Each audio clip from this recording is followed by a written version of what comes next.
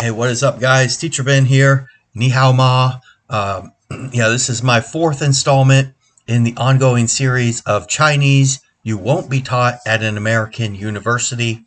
Again, fourth installment. So, without further ado, let's get to this incredible and um, yeah, career shaping material. All right, so uh, we will. I will teach you to describe to describe is going to be this beautiful character here that is uh, called Miao Shu.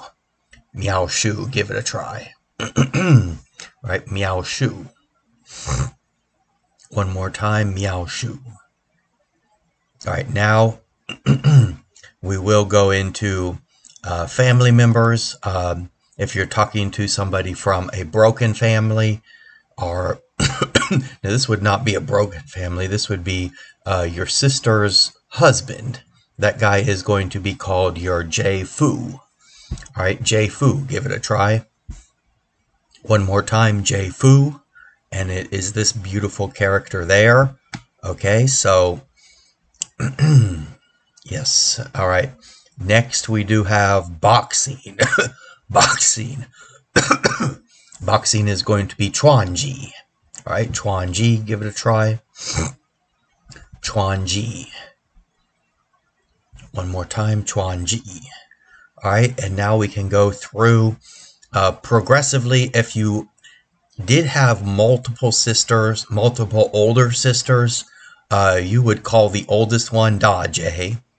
All right, Da Jie, give it a try. One more time, Da Jie. And progressively, uh, however many older sisters you have, uh, for example, the second older sister would be called Erjie. All right, Erjie, give it a try. Erjie.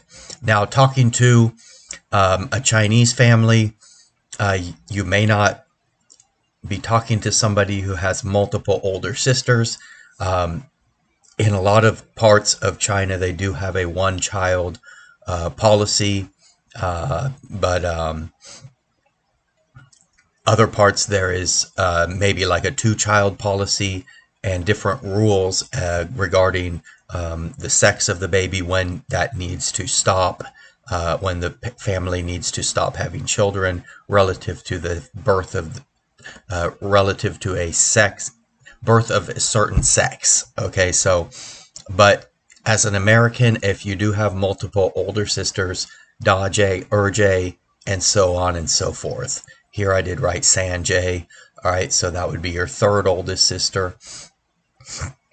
All right, so that actually brings us to um, the conclusion of today's lesson. Uh, do stay tuned for more short lessons in the future. Much longer lessons will be coming soon. To stay up to date on these and get a notification when the longer videos will be posted, do like and smash me a subscribe. I look forward to seeing you in the next lesson as my loyal as my loyal subscriber. Have a nice day. This is Teacher Ben. Bye bye, Zaijian.